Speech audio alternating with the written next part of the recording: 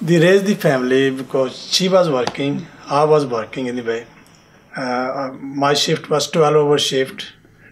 I used to work six days, six nights, two weeks days, two weeks nights.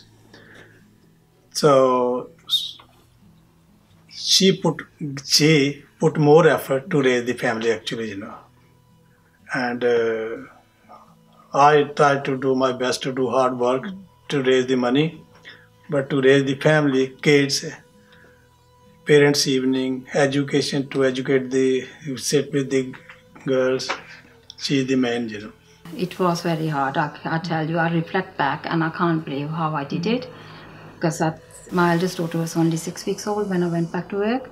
In these on those days, um, they, you used to have you could have only 18 weeks maternity leave with pay, 11 before, seven after, and then I was one week overdue. She was just exactly six weeks when I went back to work, and then also, not only that, I was I was on night duty. When I went on maternity leave, I had to go back on night duty.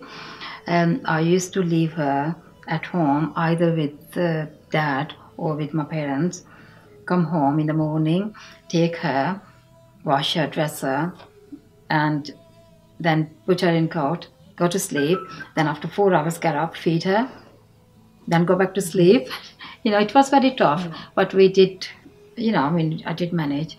Um, you know, with I don't know. It's just uh, you get into the routine. You know, you just um, kind of um, get a workaholic. That's the example I give my girls as well. You know, when they panic, I say, "Look, I did it.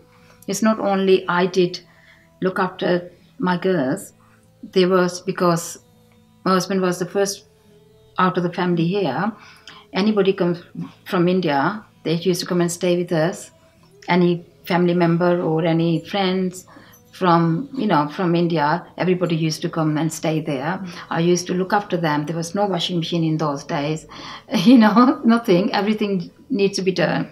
And we had few relatives of your uncle's side. They used to come over the weekend, and that was all sort of gets extra on you.